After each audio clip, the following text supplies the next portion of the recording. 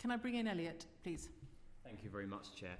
Um, if we could move on slightly to um, look at the potential increased risk factor um, that there might be, because the, we've uh, had research from the National Foundation of Educational Research which suggests that um, BAME children are much more likely to be living with a parent who um, could be at serious risk um, of illness relating to COVID. Is there any evidence that you have uh, about the impact that this might be having on pupils returning to school? Uh, and again, Angela, if I could start with you. Okay, well, I mean, that, uh, that, that research that you've just mentioned is our research. Um, um, but I think that um, the, the what what I was talking about earlier was this issue about safety. So when um, when school leaders were asked what the main reasons given um, for not returning to school, um, the main reason, uh, two thirds of school leaders in um, areas with high percentage of BAME pupils um, said that safety was a concern compared to just a third of school leaders in non-high BAME areas. So um, they had double the concern about safety. So that meant that potentially that that was one of the reasons why they weren't going into school. So I, I do think that ensuring that schools are safe and that that is communicated widely um, in different formats to different groups of people is imperative in order to make sure that children go back to school. Thank you, Angela. Ruth, could I bring you in? Yes, I'm, I'm glad you brought me in on this one because it's it, it's absolutely critical, isn't it? I I, th- I think in terms of um, as I think I've already alluded to, our families have experienced grossly varied ex- um, experiences of, of lockdown and of the last six months. And what's going to encourage these families back to school and these learners back into the classrooms won't be punitive fines for not attendance. It'll be the building of successful, positive, trusting relationships. And I think that, the schools um, that I'm working with a very much about. Part of their return to school plan is, is a, a, a sort of an acknowledgement that there will be fear featuring as one of the the reasons for non-return and I think what schools need to be supported to do in these instances is to help build the trust of parents and their families by being given the space to create the safe sort of environments and the safe learning settings that they best know suits their cohort and their communities I'm not of the mind that fines help with that process at all. I really think that in a time of crisis, we should be focusing in a time of crisis calls for the construction of positive and constructive relationships, not punitive measures. And I just feel that the, yeah, our pupils and their families need to be supported to make that leap back into a new setting. And for that to happen, then they need to be reassured that schools will never be risk exempt completely, but that those risks are being managed and are being managed in an open and transparent way. Thank you, thank you Ruth. Uh, Halima, can I bring you in? Thank you. Um, I, I mean, I concur with Ruth in that, you know, the way in which you encourage, positively encourage families to take the risk to send their children to school when they have not only a parent who might have been affected with COVID, but maybe also a grandparent and they are still coming back home to that vulnerability. The very idea that you add on the stress of a fine and a punitive measure on that family creates so much stress. I don't think that any of us would want to go down that approach. But not only does it create so much stress on the individual families, but it also creates distrust between the school and the community. Now, if you take the example of policing, for example, and pupil expulsions that I talked about, the more children come into contact with police in a punitive sense, the less confident they will be that the police have their best interests at heart. And therefore, I think if we want to actually build a positive relationship with the school to mitigate against those risks, the fines aren't helping because the school should be actually a place of safe haven, shouldn't be the place that actually forces or compels you to come back. So I, I concur with Ruth that we actually need to think about more positive ways to uh, start the journey back to school but really listen to parents' concerns. These are families that have multiple vulnerabilities at home. They may have one or two members who have been affected by COVID. So it's not easy. We have to learn to listen and we have to understand that certain families are carrying more pressures and more risks than others. And who are they? So I suppose it goes back to the question around the equality, uh, the equality impact assessments as well. So if we are going to institute a policy of return back to school, have we conducted an equality impact assessment to see what that decision impact is on the particular BME community and its household characteristics, for example? To my knowledge, not all schools have actually undertaken an equality impact assessment. So I would say that this needs to be a more holistic response, not just the emphasis on schools to do the right thing. Thank you, Halima. And uh, finally, Anne, can I bring you in as well? Yeah, thank you. Um, I just wanted to share some figures that were from the um, 17th of September uh, published data on school attendance, which um, up until today were the latest ones.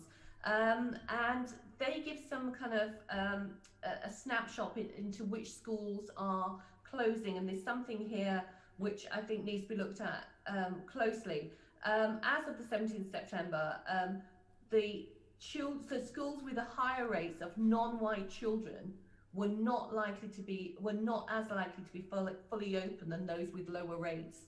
Um, and th that means 10% of schools with less than 70% of white, white British children were closed compared to 4% of schools with more than 70% um, of white British children.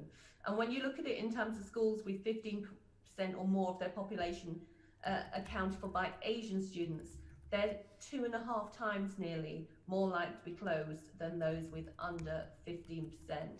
Um, uh, so that really gives us an indication of maybe where there is a nervousness, where um, there isn't school attendance, or whether there are outbreaks that are leading to concern.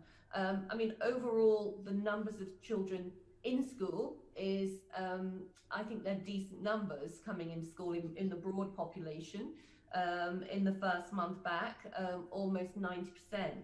Um, but keeping them there clearly will be another issue, and uh, we need to look at that 10% and what that means. And clearly, there's something going on here about schools and school closures, which presumably is because of potential outbreaks or um, nervousness within the population.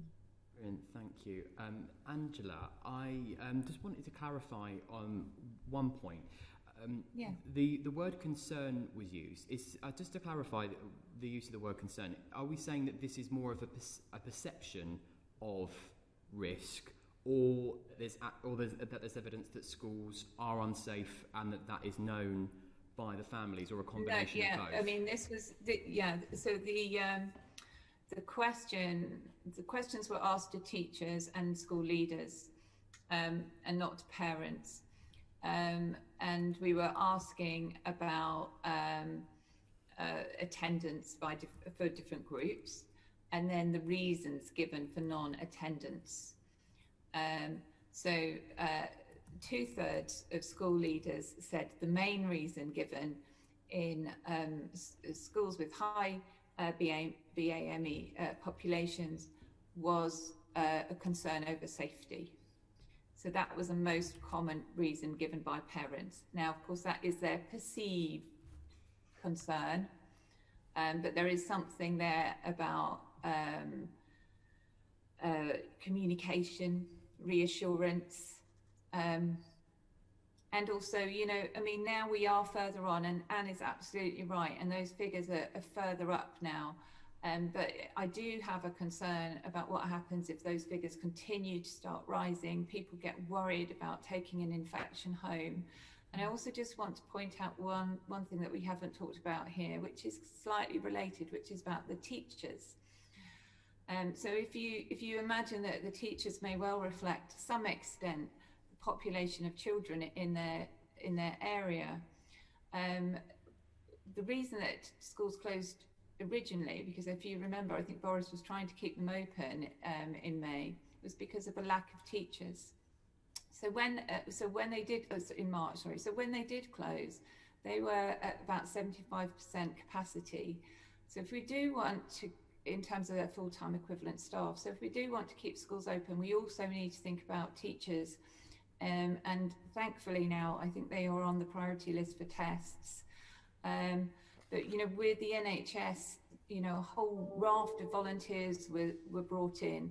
Um, so I think that if we're, we're serious about keeping schools open, um, they're asking for more resources uh, to cover the costs of teaching in this new environment um, in, and including more staff. And we need to think about uh, covering staff and having enough a kind of um, kind of core number to keep a school going.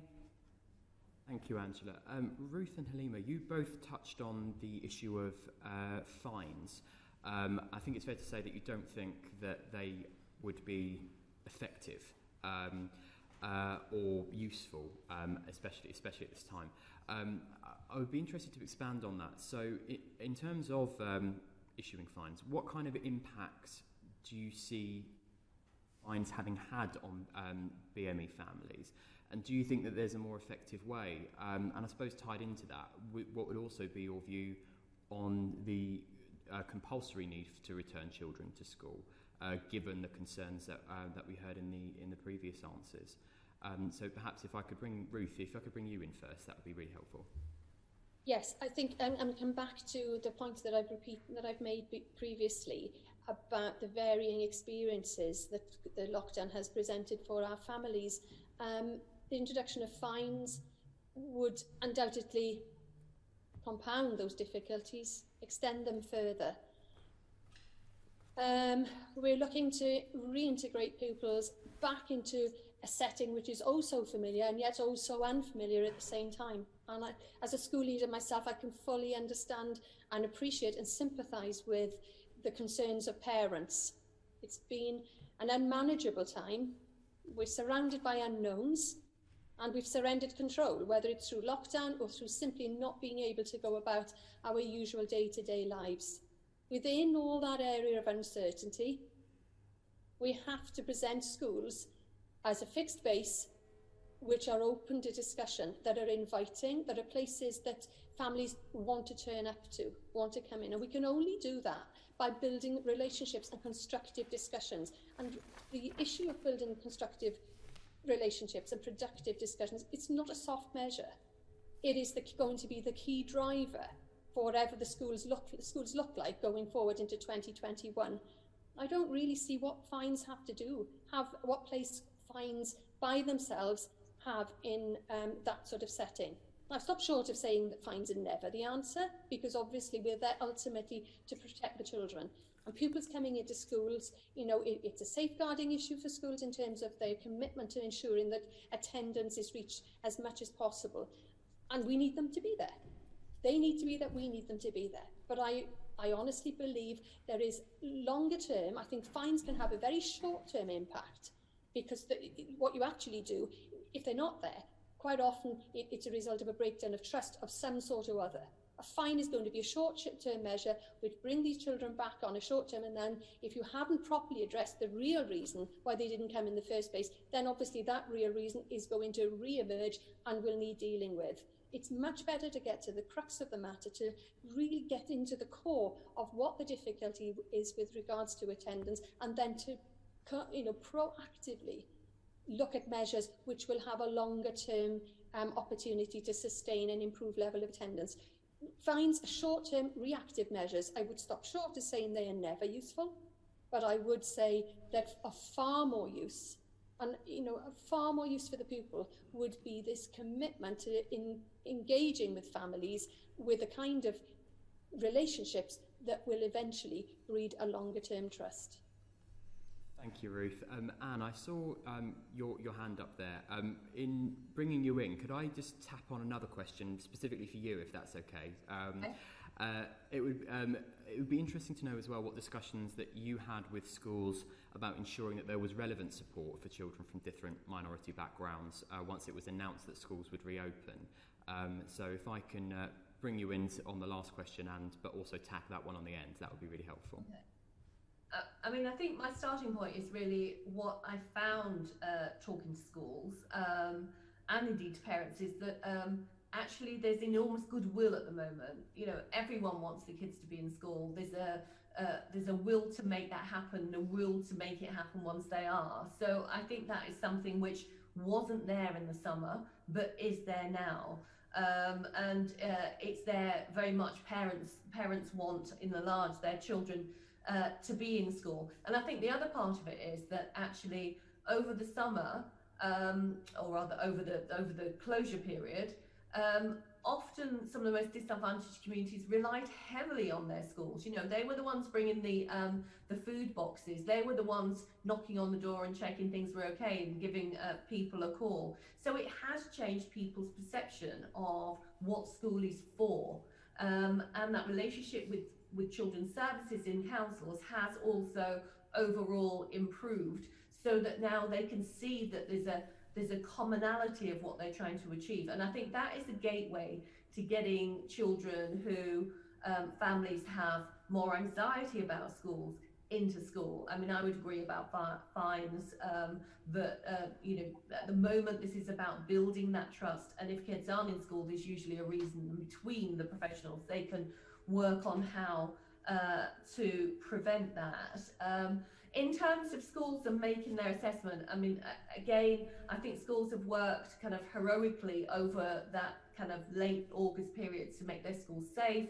Um, they, um, I believe, have made good kind of judgments on which children they need to reach out to, but it's all been very fast and there's been a huge amounts to do. I mean, the practicalities of getting a 80 class class school up and running, you know, the head teachers have been moving um, moving the furniture around um, uh, just to get the thing open.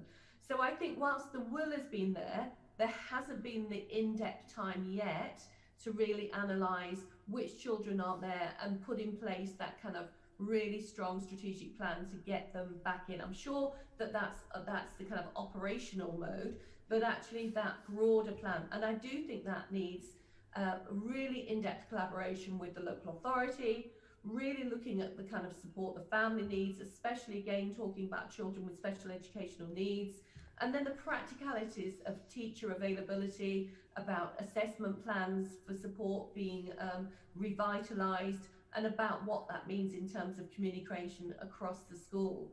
So I don't think there's any uh, will not to do that, but there has been huge amounts that people have had to do. I think they've done it well, but it's something that remains um, uh, uh, very much um, a priority now. I just say the other thing about exclusions is that we know that um, Black Caribbean boys in particular um, are twice as likely to be excluded um, as um, their peers. And going back into school, it won't be easy for every child to just slip back into a classroom. Schools, again, are doing great things to be able to provide a kind of um, a broader curriculum around emotional support, but it still will need endless dialogue with families to be able to get through some of the bumps, which un- undoubtedly be there over um, the coming weeks. Thank you, Anne. Um, Ruth and Halima, I've seen you both with your hands up, so I'll bring you in very quickly um, as I'm just conscious of time. Um, but uh, Halima, if I can bring you in first. Yeah, sure. Um, so about the fines, I mean, obviously you've heard that I don't approve of them because, in, in a sense, if you look at fines, they're they're they're not encouraged to induce behaviour change. They're they're there to stop us from being harmed. So if the idea is for us to encourage families to send their children to school positively, then a fine probably isn't the right approach. So I, I suggest that that's a wrong instrument for the outcome that we want to see. But what I would also say is that the fine approach in general, we need to actually look at who it impacts most. So if we're saying that children from BME families are disproportionately impacted by COVID, it's most likely those fines would have a disproportionate impact on those children. I would then ask the question, is that then discriminatory on is that a discriminatory effect on some children more than others? So I think we need to be really careful about a standardized approach that then has a disproportionate and discriminatory impact on BME children. Thanks, Halima. And Ruth. Uh, thank you. I, I, just forgot to say, really, let's remind ourselves that the reason some of our children are at home unnecessarily at home is because they simply can't get a test. And we must remember that as well. We, the government were very was very clear in in the availability of a track uh, of a, of a appropriate track and trace and test facility as one of the key markers in terms of schools returning. They promised us there would be, for, schools to return, there, the school return would be matched by um, a process that was safe and that was responsive to need. Clearly, that's not been the case. And so let's not forget the fact that an awful lot of uh, school absence at the moment is down to pupils simply waiting around either, either for a test or test results. Thank you, Ruth, and thank you.